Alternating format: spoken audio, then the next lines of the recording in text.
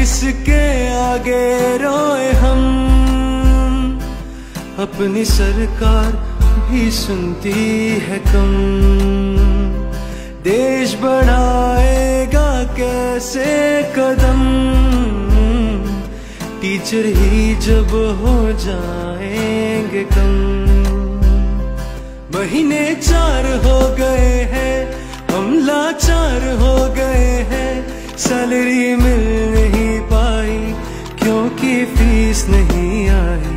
No school no fees कह रहे हैं, इसलिए फ़ी न दे रहे हैं।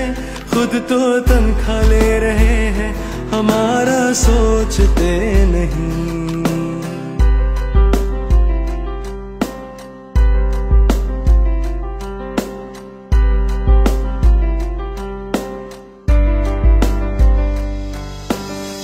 हमारा भी तो परिवार,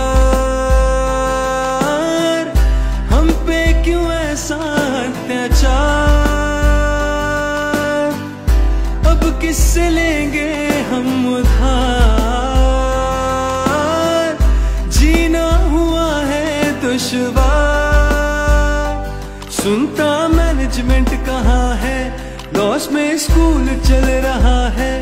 कितने खर्च बढ़ गए हैं? ऊपर से फ़ीस नहीं आती, क्या इसका कोई भी हल नहीं? ऐसे ज़्यादा चल सकता नहीं। सोचना लोगों को चाहिए, मिलेगी तनख्वाह, क्यों नहीं?